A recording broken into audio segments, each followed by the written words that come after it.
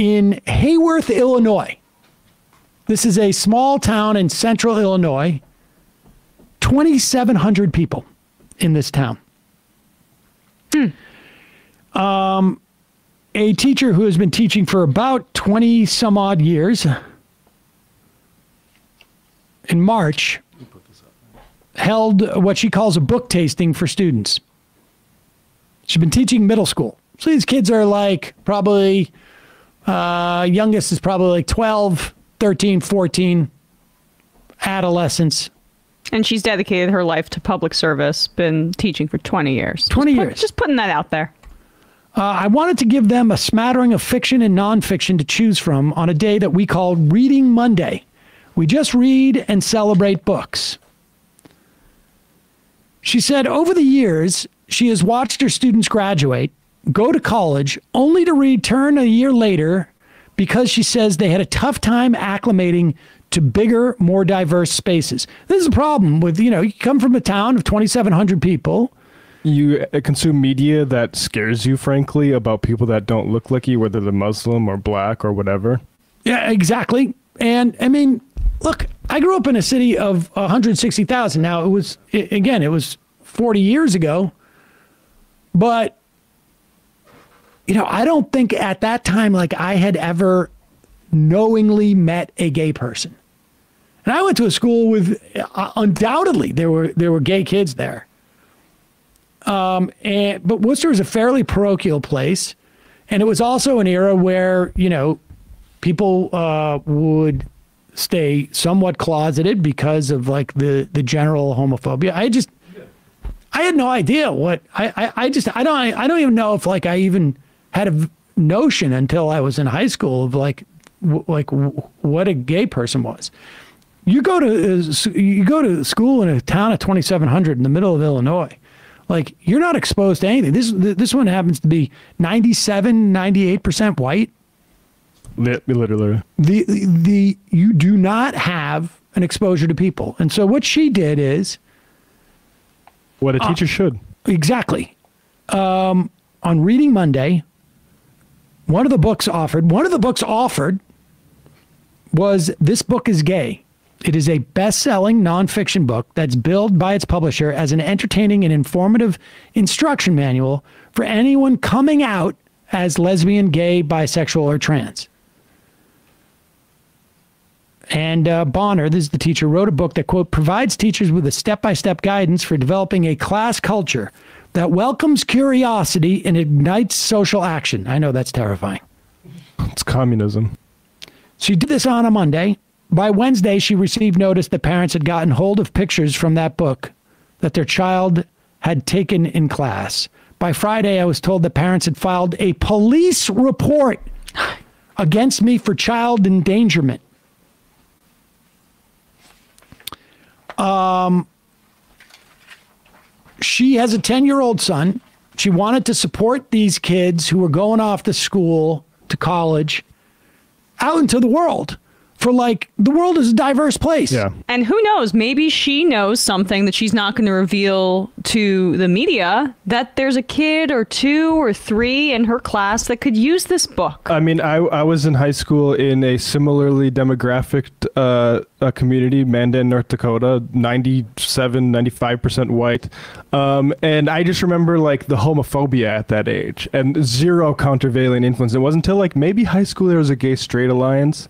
Um, I'm trying to remember if that was until college till I till that showed up at one of my schools, but uh, like this is this is exactly like the right direction where be, where we should be going and what we're seeing now is just parents re- uh, bigoted parents reaction to that And uh, she said, after listening to her students' questions and interests, Boner, uh, Bonner structured a curriculum, she says, included a diverse library of texts. In other words, you know, you're reading a bunch of books on Mondays, and some she included centered Black, Indigenous, and LGBTQ characters and themes. She says, up until now, I've been supported by the communities I've taught with. However, 1,600 books were banned over the course of the 2021 2022 uh, school year. This is from PEN. Um, It's not necessarily about what happened to me, she said. It's about how things have really changed for students. There was a uh, 2020 National Literacy Trust research report that says most kids age 9 to 18 say it's important to read books from a range of backgrounds. Like, I don't know what could be more obvious. Well,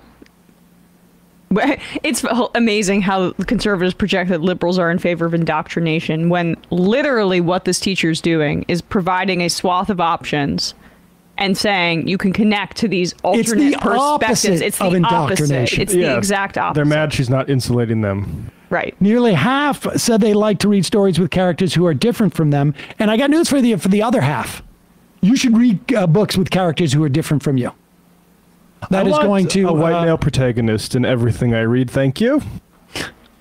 Um, and she uh, she said that she understands that parents know their children best and believes that both parents and educators have that love and care in common.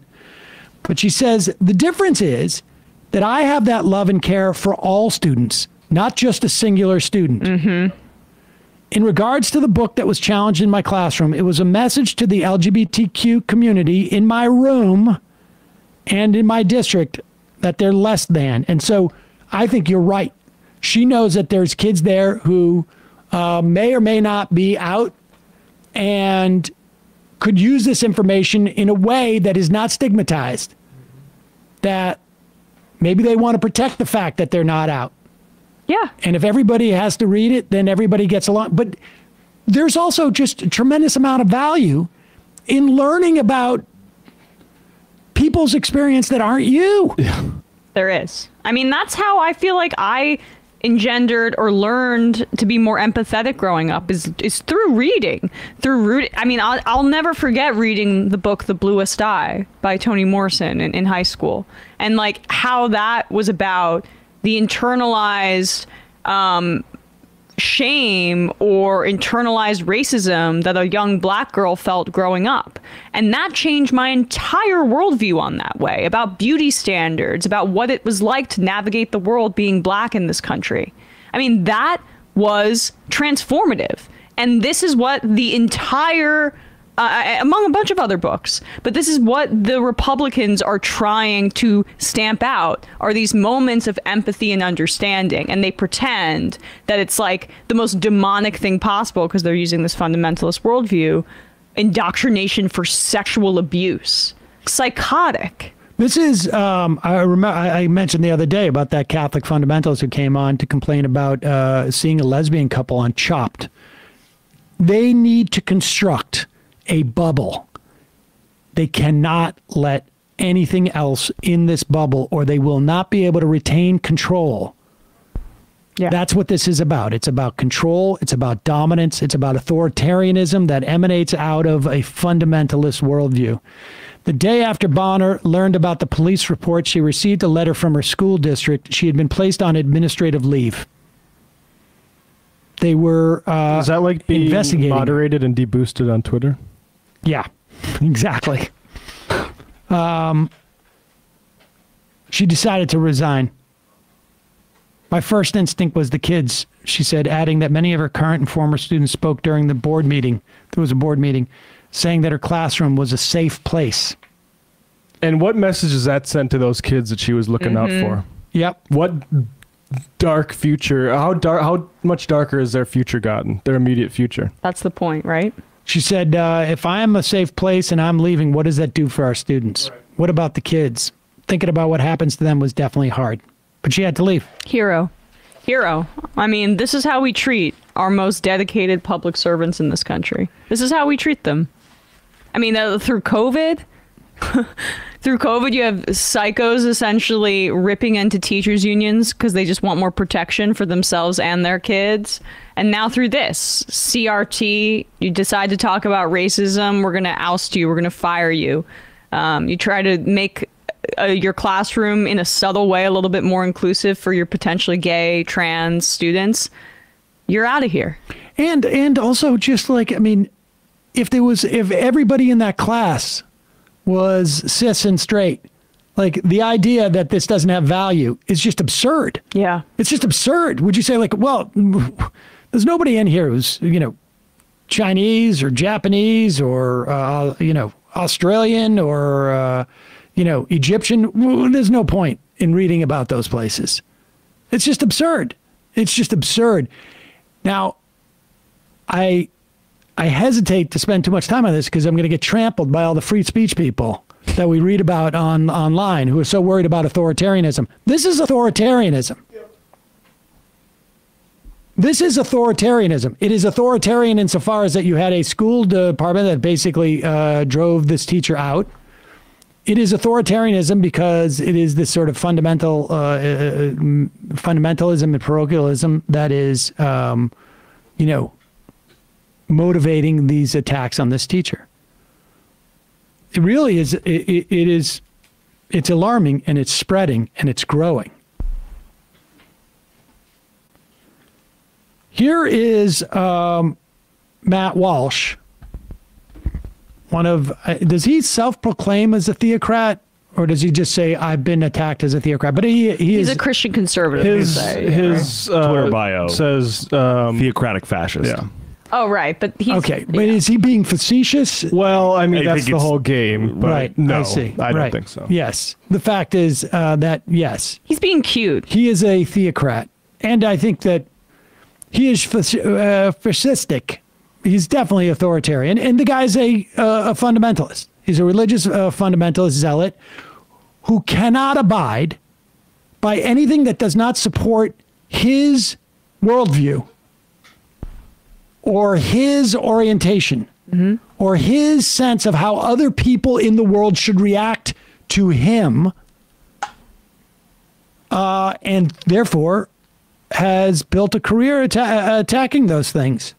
lying in the and lying to serve it too because you know as we saw in the joe rogan experience um, he was fact checked about basic transition numbers for children and he he got it wrong by like hundreds of times over thinking it was in the millions when it's in the the the single digit thou- low hundreds per year but single digit thousands per mm, over a multi-year period. So he's a liar in service of god which is what theocratic fascists do. Lying for the Lord is a thing. Yeah It is, uh, and It's how Mike Pence could serve ungodly Trump because it was in the Lord's view. So just think of you can Google that. this is just Lord, he's just Mike Pence, but like with with again with with beard dye. Yeah. A little more from NBC. It says Bonner says that she understands parents. Pause it for a second. children- Can I just also say, and we'll start it up from the beginning? Like, I love how he is on this big flannel shirt kick because he's trying to prove, he's trying to pivot into this sort of like manly thing.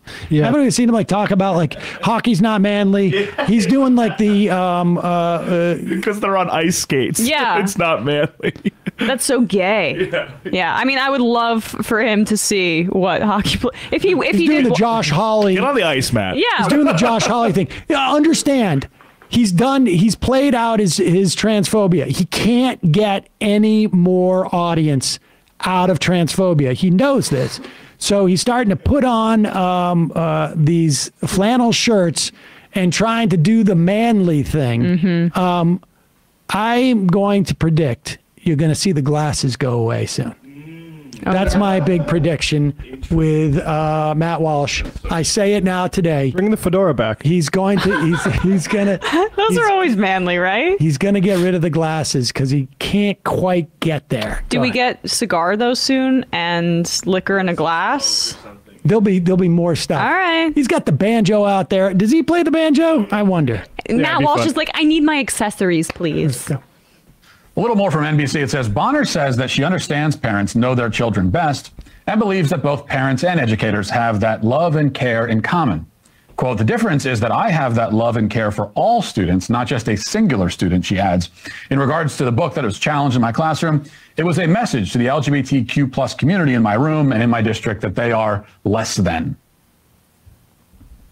Okay, first of all, uh, it's important to, to say that um, no, you don't, as the teacher, we, we don't have, if my child is in your classroom, we do not have love for my child in common.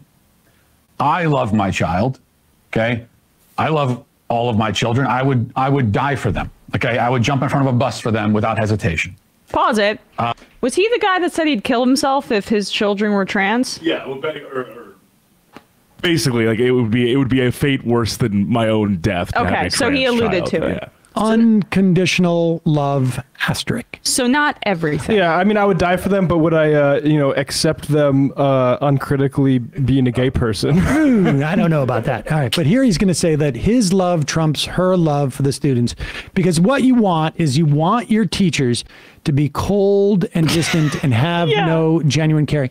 I I think she as a parent of a 10-year-old probably understands that the love of a parent is slightly different from the love of a teacher, but he's going to make it I mean, this is a twofer for him because it's not only attacking, um, it, it is attacking teachers in the teaching profession. Because Yes. remember, an overall uh, agenda for these type of authoritarian fundamentalists is they want to raid the money that is there for taxes for schools and give it to parochial schools. That is what Betsy DeVos and her husband had as their number one agenda for decades. That's why they undercut teachers unions and do this too. Um, but all right, so keep going. I love all of my children. I would I would die for them. Okay, I would jump in front of a bus for them without hesitation. Um, I love them more than than than my own life. That is not how you would feel about my children because they're not your children. So no, we don't have this. Thing, Oh yeah, we both love your kid.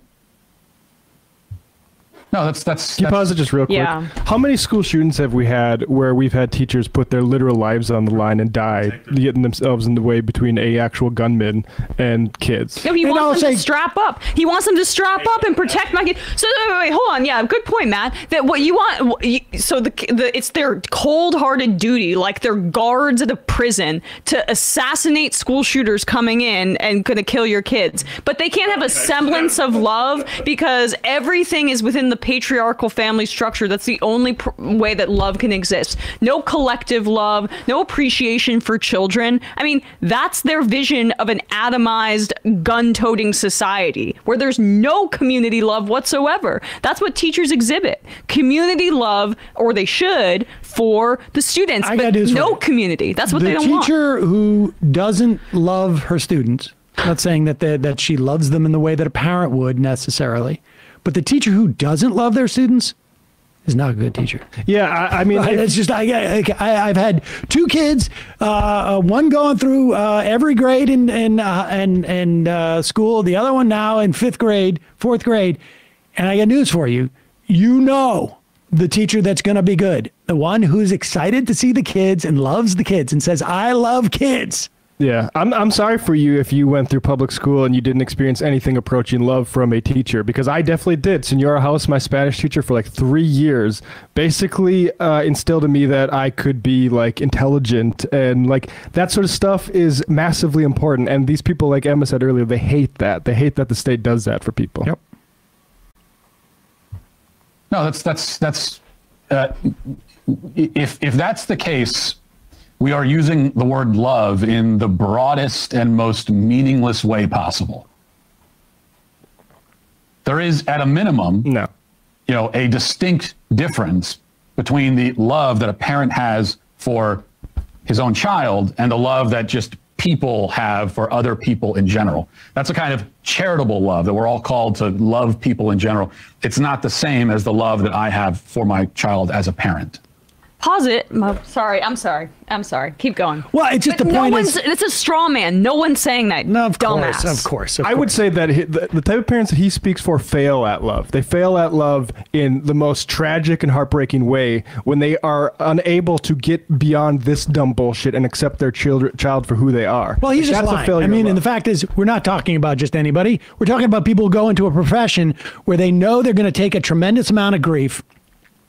The financial rewards are going to be limited, and they dedicate uh, their lives uh, to to to helping children. You you don't do that unless you love children. I mean, who? No, no, no. What they do it for is the constant harassment and the doxing on libs of TikTok. That's what teachers are in this for. They just want attention. They just want attention. And that's an important point. Because this is a comparison, you know, they, they, they want to claim that, oh, yeah, I love your child just as much as you do, if not more. Which gives, which, which they think gives them the moral authority to, you know, do whatever they want. Except gay kids. So according to this groomer teacher, the only way to treat the Suing. LGBT quote unquote LGBTQ plus community equally is to sexualize and groom children. Now you notice something else that there is no heterosexual person um, demanding this sort of thing on the other side. Okay, we're we're not. Pause. Hold on. This is such a. Uh, the this is this is. I, I, honestly, I, I I really do think that he could come close to getting sued for calling her a groomer. groomer. That's Yeah. unbelievable. Um, it'd be interesting. I'm sure he, he ran that by the lawyers. Um, but let's be clear. The he's making it about like how do we measure the love here uh, because he knows he's got nowhere to go with this. She introduced a single book, amongst others, to educate uh, the children and to also offer support for them there. The idea that you could go into any school in the country and not get a book from the perspective of the heterosexual in this school, uh, country is I mean, beyond ridiculous. It's beyond a, a, a lie. It's it is the norm. It's the exact same reason. Why is there a Black History uh, uh, section? Because the rest of history is just white, and we don't put white history in front of it. It's just that it's just assumed. It's just assumed. That's the normal history. Continue. I mean, can I just make one more point? Is Matt Walsh like this happened in Poland? They were literally calling sex education grooming, right? And if they could take it that far, they would here. Oh, they will. They did it during the Bush administration. They did for freaking The, Harry yeah, Potter the too. HPV uh, vaccination Yeah. was a license for people to have sex, according to them. I remember that. Encourage promiscuity among young girls. Totally. To prevent them from getting HPV, which could lead to cervical cancer. Well, that's the price you pay for your sexuality, right? That was their argument. this sort of thing on the other side. Okay, we're we're not um, we're not asking for classrooms to provide graphic descriptions of straight sex or how-to manuals on the subject. We're not asking for that. LGBT activists claim that exposing children to pornographic content is the only way to ensure inclusion and equality. But in, inclusion in what? Equal in what way? What we want is for all sexual instruction to be removed from the classroom completely. Kids do not go to government educational facilities to learn how to have sex, or at least that's not why they should be there. Human reproduction should be covered. Pause. it. Uh, the um, sex education, in addition to um, uh, clearly helping with things like teen pregnancy, Right. in junior high is, if anything, is late. in Yes. terms of it is late. And this is what the fundamentalists, the fundamentalists, the religious zealot fundamentalists, these theocrats, do not want sex education taught in the schools, period. And that's where they're taking this. because they don't want kids to be empowered to say no. I got sex ed in fifth grade, and that was not too early at all for that. Like we were all like um, theorizing about sex beforehand. Where we're like, as far as I'm concerned, that that was like perfectly on time. Of ten years old. I had friends, girls that were uh, developed earlier in fifth or sixth grade, and we got our sex ed what, like sixth, seventh grade, something like that. I did. Um, that they could have used that earlier when they were getting a little, when someone was a little getting a little grabby with them. They could have used that earlier to know what was wrong with that situation. And also notice It- that you're he says- oh, yeah, protecting kids. No, you're protecting kids from getting sexually molested if you give them the tools early on. Like what they're doing is greasing the wheels for grooming with this kind of stuff. A hundred percent. making kids more open to being groomed. And notice that he says government educational facilities and not schools. Like he's it's it, it- Oh, right. That- this is supposed to be it's- indoctrination it- centers. It's, Yeah, a, it's, no, a, it's a 'cause it- sanitization of like what the it's it's removing any sort of positive valence from the idea of a school being like a public good. Yeah. It's That's the point. They are. He wants people to be going to madrasas, essentially, right, right. not Char- uh, charter schools not or not uh, Islamic madrasas, but the the functional equivalent. And it's wild because like Tulsi got here too, and you could say that there was this a while where they were just saying this is about like the trans and then it's about gay and trans. Now it's just about any sex ed Yep. in general. Do we have any more of this or no? Done. covered in biology class at the appropriate age. But aside from that, um, none of this stuff should come up. As I've said before, I don't even want abstinence taught in the schools. I'm not advocating for an abstinence only sex ed education because now that would certainly be much better. That'd be a much better alternative to the left to the left's preferred strategy of instructing children on the fine details of every sort of depraved fetish. I- I but mean- it still would not be ideal because the most I- Sorry, we can't just keep like uh, depraved fetish, like how to uh, use a condom. Yeah. I mean, they've they have done study after study after study after study about the efficacy of sex education being taught in schools versus abstinence only Yep. education. You can see direct lines to increase teen pregnancy and increase STDs, STIs in schools and in states and districts that don't uh, teach robust sexual Yeah. education. Efficacy is not the issue. I know, The but that's, an, that's no, a side. point. Yes, but but the point is he he is specifically Yeah. railing against efficacy because it is this is what the definition of indoctrination is. He wants only a fundamentalist ideology to be represented in this account for all children. Yeah. Fundamentalist ideology, which is God handles sex, not people. Mm-hmm. But You're you, the only thing you're going to learn, and, and let's be clear, what is it that we learn from sex education? It is two things: how not to get uh, sexually transmitted disease, and how not to get pregnant. And he does not believe that humans should have the ability to decide, particularly women, whether they get pregnant or not. And certainly does not believe that they have the right to end a pregnancy. He also believes that if you get a sexually transmitted disease, that is God's wrath being imposed upon you. And that is the way it's supposed to go. I mean, you can find this in every one of his positions down the line.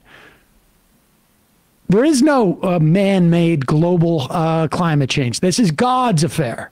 He is a theocrat, he is a fundamentalist theocrat. And if uh, apparently it's open season on using the word groomer by the evidence of who actually, um, like we said about the effects of what sex education actually does to arm kids against knowing like what inappropriate touching is, for instance, Matt Walsh is being the groomer here, not that teacher. And let's also be clear: what is the greatest, uh, um, the the largest institution of grooming that has ever taken place, and as far as we know, Organized religion. international. Yeah. Yep.